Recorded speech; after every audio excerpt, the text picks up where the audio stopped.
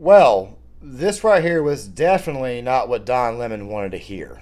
And then you have the, those who are asking uh, for reparations for colonialism, and they're wondering, you know, $100 billion, $24 billion here and there, 500 million there.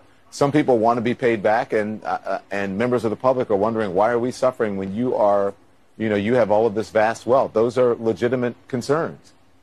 Well, I think you're right about reparations in terms of if people want it, though, what they need to do is you always need to go back to the beginning of a supply chain. Where was the beginning of the supply chain?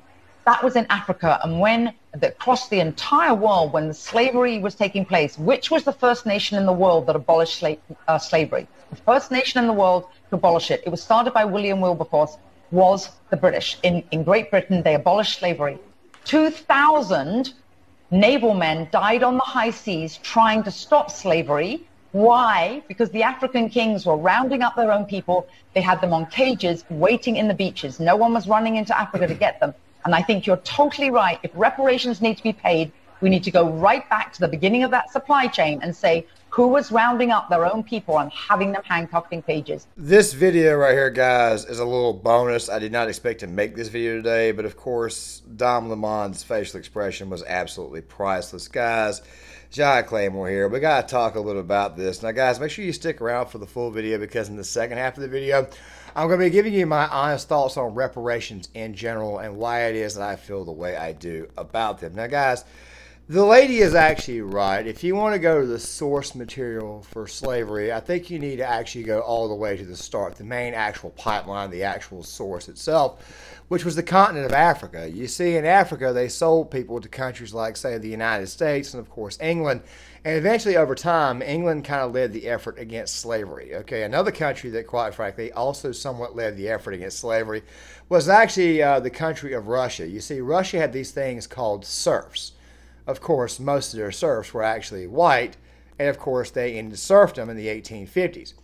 You factor that in, you factor in England actually trying to end slavery, and of course, you factor in the American Civil War, which occurred in the 1860s, which, by the way, the main view around the Civil War, the reason for the Civil War was actually slavery. Now, we're going to stick to that for right now. We may make a video in the future, probably on Gear 33, asking the questions about exactly what really did truly actually cause the Civil War. But the thing you got to understand is this right here. It was fought, and slavery ended after the war. Of course, there was the whole Jim Crow thing, but after a while, you had the civil rights movement, and eventually, this type of stuff eventually was put to rest. So let's just go ahead and get over this whole systemic racism crap because there is no systemic racism. Don't worry, I'll probably do a video in the future explaining why it is that I do not feel that there is any systemic racism. So, with that right there being said, let's go ahead and get back on this topic of reparations. First and foremost, reparations is just a bad idea. You see, you're forcing taxpayers who, quite frankly, never owned slaves and probably had uh, relatives that did not own slaves to pay somebody else some odd three or four hundred years in the future. It's not a good idea. You're making these people pay for the sins of someone else's past. Do you guys see what I'm saying? Slavery technically ended in this country in 1865, but you want people who live in 2022 to pay for people's sins of that time frame there you see, I think the whole slavery thing is a, a, little bit overplayed, seeing how there are no slaves right now here in the United States. However, though, there are slaves in those Middle Eastern nations. You know, those Middle Eastern nations that you claim are pro-gay and are pro-actual freedom. You know, those, those same places that the woke left likes to tell us are great, which, by the way, are actually. Pff, horrible places, horrible institutions that do horrible things. You guys don't seem to realize just how good you have it here in but the United States. Back to the topic of slavery. You see, the British monarchy went out of its way to kind of end slavery. And of course, ever since the Queen has died, uh, people on the left, especially our woke buddies, our woke, I just go ahead and call them my entertainment because they say such crazy stuff. They've been out there saying that the British monarchy was this, it was that, it was cruel, it was brutal. And yes, they had their times when they were.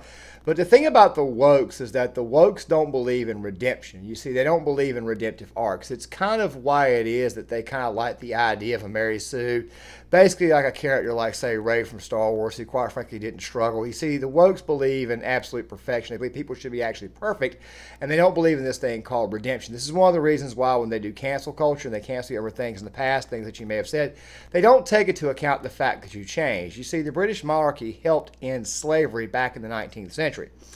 They may have actually been working as far back as the 18th century to do that. And eventually, Russia, they ended their slave trade. The United States, we eventually followed a civil war, and the slave trade was actually, as a matter of fact, the United States was trying to end the slave trade back in the 18, uh, back in the early 19, early 19th century. It was Thomas Jefferson signed a law and act the Slave Trade Act, basically saying no more slaves were to be brought back in. The idea was to basically move the issue up at a later date, and eventually a civil war was fought. You see, the framers of this country were actually trying to get rid of slavery all the way back during the American Revolution, but they could never actually come together on a compromise. Don't worry, we'll probably do videos on that in the near future, especially in project form, because we got to answer this great big question of systemic racism.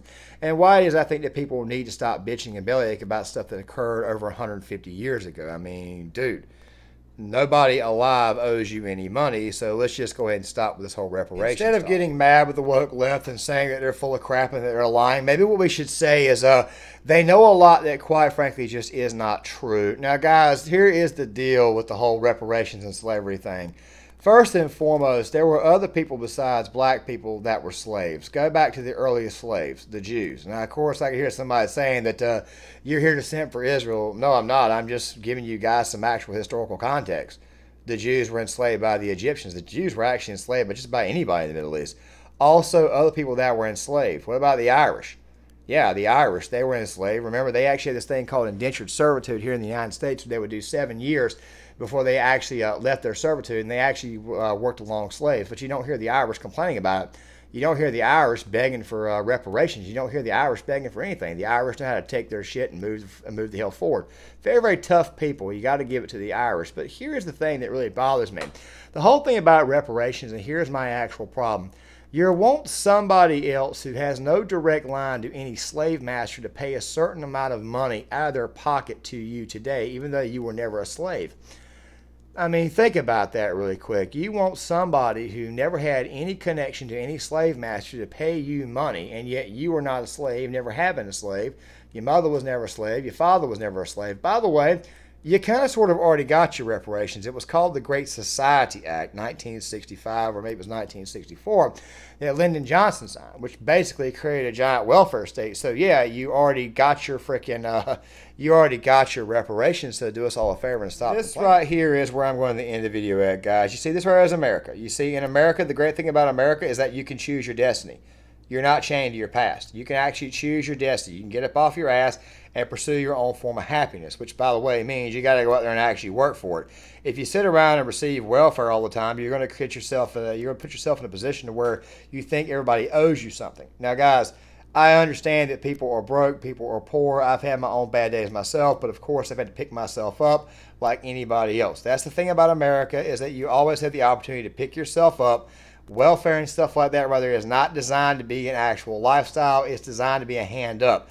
One of the biggest mistakes that we made as a nation is that we got rid of the work requirement and the welfare which by the way i think is a serious problem. You need to have that work requirement so that way people are given a bit of a line while they work till they find something different. Temporary jobs are simply temporary Working for low wages is simply designed to help get you over until you find something better. This is one of the reasons why I got a problem with this whole $15 hour minimum wage bullcrap. I just left the state where they had a high minimum wage, but everything was freaking double in cost. So at the end of the day, doubling the minimum wage in these areas doesn't really amount to anything, especially with the current rate of inflation. So do us all a favor, stop expecting people to pay your freaking bills. No one owes you anything. No one owes you any reparations, even though I already outlined to you that you already did receive some reparations back in the 1960s, go ahead and get the hell over yourself and realize that people like myself and people who are taxpayers who have no actual line to any slave masters owe you a damn thing. Pick your ass up, go get a freaking job, and go work for it. Guys, John Claymore, if you like the content, hit the like button, subscribe, share the video, sign up in the comment section. I'll see you guys later.